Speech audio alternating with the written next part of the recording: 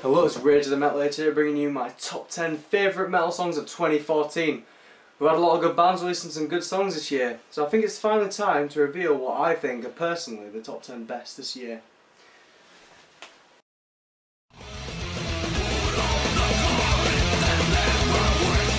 Okay guys, at number 10 it's going to be Bonsai Kamikaze by Cavalera Conspiracy. Now I've always been a big fan of Max's work, since Sepultura to Soulfly, and I do listen to Cavalera Conspiracy sometimes, but not exactly too much. Uh, my favourite thing that Max has done is obviously going to be Sepultura back in the old days. I mean, come on, that is his best work, let's be honest. But it's really good to see Max and Iggor working together again because Iggor Cavalera is one of the best metal drummers of all time, no questions asked.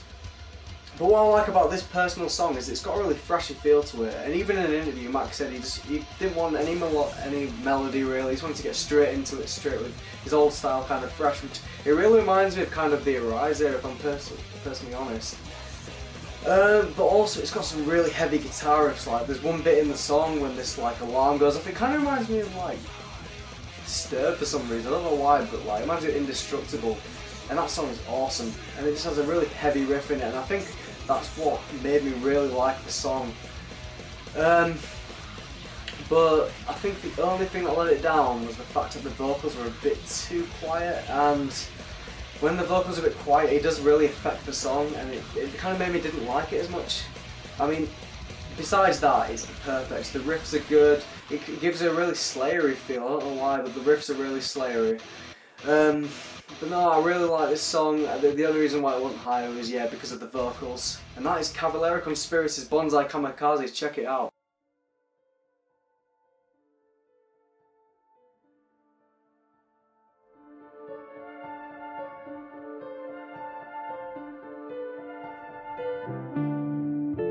Okay guys, at number 9 is Opeth Eternal Rains Will Come. Now if I'm perfectly honest, I haven't been into this band long. I'd say about a month or so.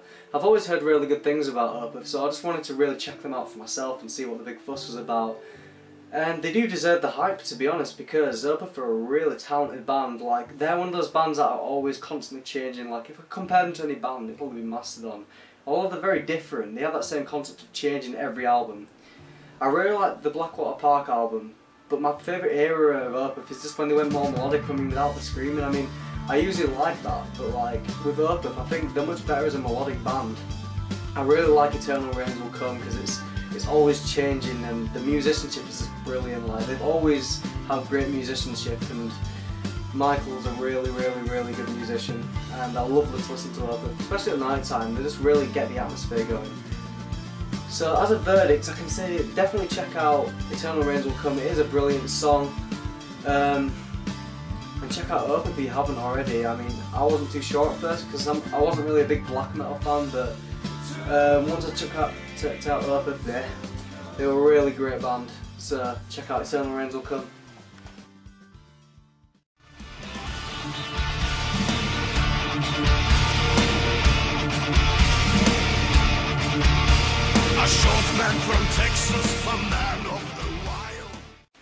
Okay guys, the number 8 is Sabaton, Hell and Back. Now personally I think Sabaton are one of the best power metal bands out there. Every song is just really catchy, but particularly Hell and Back, which is the new single off Heroes. But as well as as well as Hell and Back, I think Heroes deserves a mention because Heroes is a great album, it's one of the best releases this year. Every song is about a different soldier and you know how important they were, what they did, and it just got me more hooked on the songs to be honest. But Hell and Back personally, I think every instrument did the best they could do in it.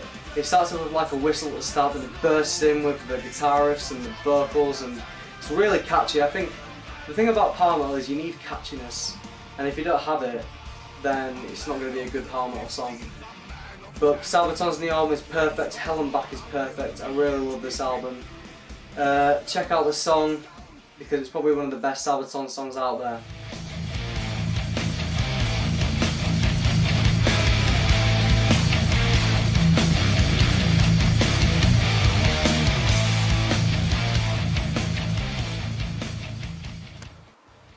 Okay guys, the number 7 is Mastodon's High Road. Now these are one of my all-time favourite bands and I like Opeth for constantly changing genres. I can't say I was too keen on the new album, I don't know what it was about it, I just couldn't get into it. But like the songs that were good, like Chimes at Midnight and High Road, are pretty awesome to be honest. Uh, High Road in particular is one of my favourite songs on the album, and I just had to give this one a mention because it is one of the catchiest songs I've ever heard, and I must sing this like nearly every day. Um, the drumming is absolutely excellent on it. Uh, the way he can drum and sing at the same time, he does it so uniquely. Like I don't know any other drummer that could compare to him, to be honest, in the metal genre. Um, but yeah, High Road. That is probably one of the best songs released this year. Uh, it's a shame the album couldn't be as good. I mean, I don't know if I should give it another listen. It might be better if I give it another chance. But High Road in particular, give it a listen. It's an awesome song.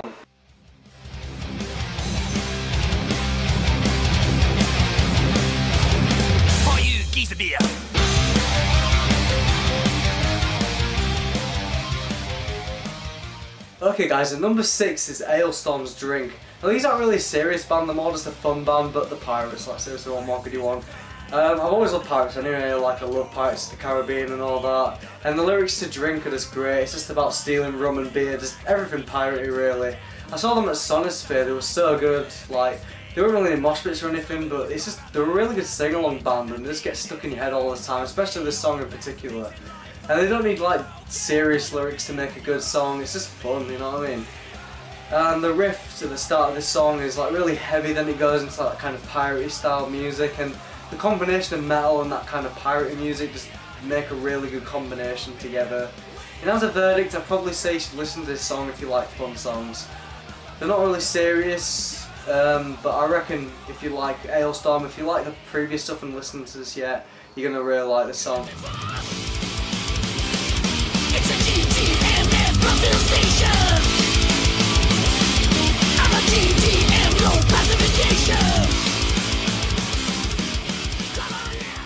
Okay guys, number 5 is Overkill's Armory Song. These are one of my favourite thrash metal bands of all time and they definitely deserve to be up there with the best. Uh, Bobby Blitz is one of the best thrash metal vocalists out there. He can still do those high pitched screams that he probably could have done about 20 years ago. He's absolutely amazing for his age.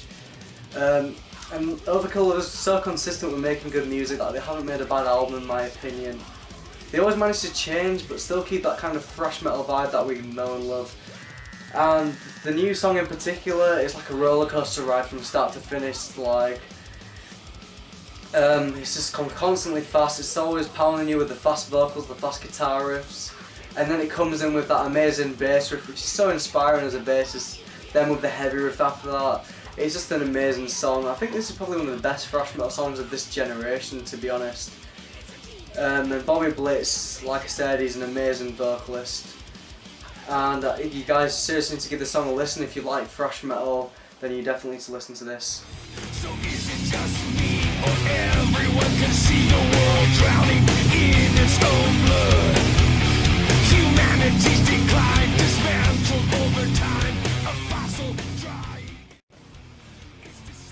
Okay guys, at number 4 is Slayer Implode.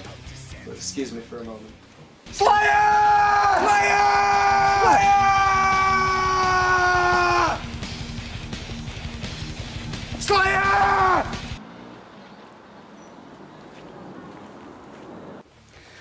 Ooh, I had to get out of my system. Okay, about the song, Slayer are my second favourite band. I love Slayer so much, and when the new song came out, everyone was really critical about it because Jeff Hanneman's dead and uh, Dave Lombardo's like left the band. But I still had really high hopes for this song. And when I listen to it, it's like it combines the old Slayer with the new. It starts off with kind of like the Christ Illusion and the World Painted Blood era, and then like in the middle of the song it goes into the fast, thrashy Slayer that we've known to love. Like kind of like the Reign in Blood era, if you know what I mean. And it, the lyrics are just like really brutal and violent, just how we like them.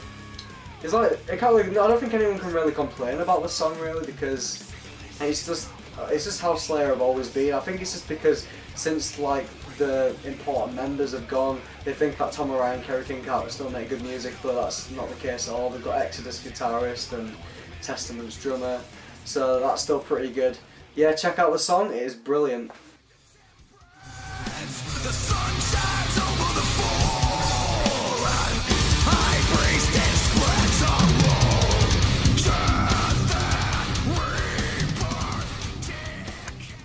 Okay guys, at number 3 is Machine Head Killers and Kings. Now Machine Head are always one of those bands that I can rely on to make good music.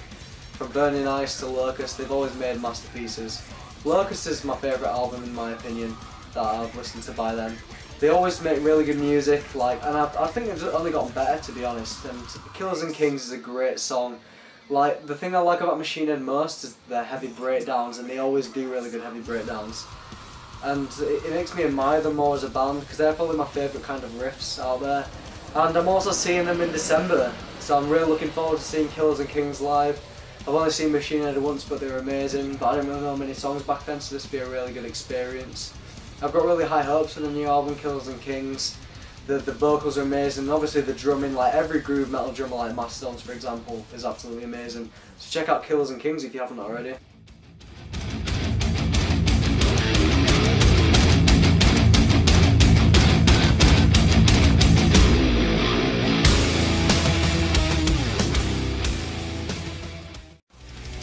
Okay guys, number two is Slipknot Devil in I. Now Slipknot have been gone for a long time. Since 2009, since the release All Hope Is Gone.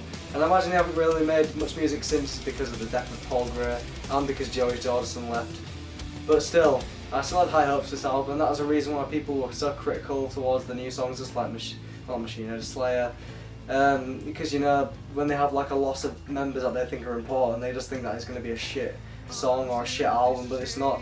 Uh, Devil in I is brilliant. The choruses are really epic. Corey Taylor does a really great vocal uh, stuff in it. Um, the riffs are really evil and they're really good, you know. And Corey Taylor is amazing lyrics, he's amazing in vocals, and the whole band, whether they don't have a you know a bassist or a drummer, well they they have a drummer, but no one knows who it is yet. But it's still an amazing song. So yeah, listen to Devil in I.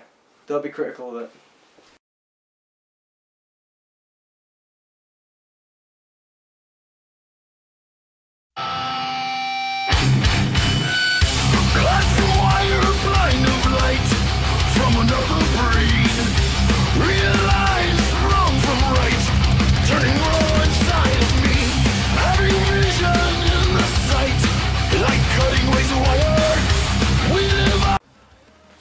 Okay guys, number one is Killer Be Killed, The Wings of Feather and Wax. Now this is a new band that just came out in 2014, but I don't want to say new because it's a super group of four different musicians who are all very talented at what they do. Max Cavalera and Troy Sanders, I'm a really big fan of theirs. I love Mastodon the Like, I haven't really listened to the other two guys, but I do appreciate their music and they are really good musicians. Um, this song is absolutely amazing. It combines all four styles into one song. Just this song is like all four bands in one. It's amazing. You've got like a really epic chorus. You've got Max's tribal drummings in it, and his like heavy screaming like um, his his like verse in it. It's absolutely amazing. There's no song so far that I've seen that could beat this and this is my favourite album of the year. If you like metal or you don't, I think you'll still enjoy this because it's not really heavy, it's just really epic singing. Um, I just, there's just nothing wrong with this song at all. Killer Be Killed are one of the best bands that I've listened to this year and I really hope that they go on tour. They haven't talked about it yet because they've only just come out. I don't know if they will because it's a super group, but they really need to carry on making music and they need to go on tour. Anyway, guys, that is my top 10 favourite songs of 2014. I hope you enjoyed it. Uh, please subscribe. Check out my other videos. I've just done a video on uh, the Sonisphere highlights at U at Knebworth, and I've uploaded an Ice Bucket Challenge if you're interested. Um, but yeah, check out my channel in a bit. Bit.